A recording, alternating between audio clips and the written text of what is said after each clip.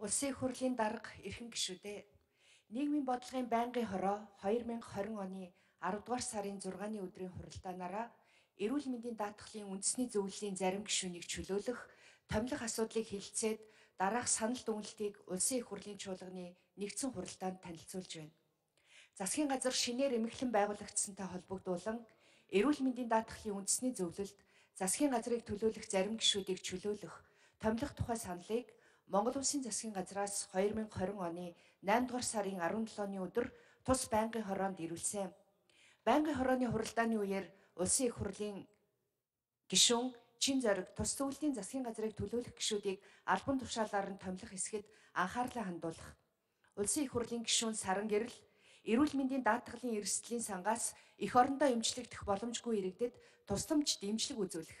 Улсын их хурлын гишүүн Ганбаатар тус зөвлөлийн бүрэлдэхүүнийг шинчлэх, даатгуулагчийг төлөөлөх гишүүдийг томилохдоо тэдний бие даасан шудраг байдлыг харгалзан үзэх зэрэг саналуудыг гаргасан болно.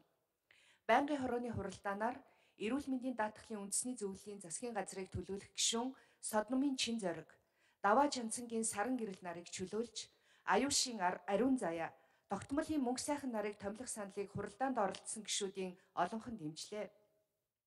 Мөн эрүүл мэндийн даатгалын үндэсний зөвлөлийн дараагаар эрүүл мэндийн сайд тогтмолын мөнх сайхныг томилох саналыг гишүүдийн олонх дэмжив. Байнгын хороо Монгол Улсын их хурлын чуулганы хуралдааны дэгийн тухай хуулийн 108 дугаар зүйлийн 108-ийн нэгдэх хэсгийг үндэслэн засгийн газрын дээрх саналыг хилэлцэж тогтоолын төслийг боловсруулж та бүхэнд тараасан болно.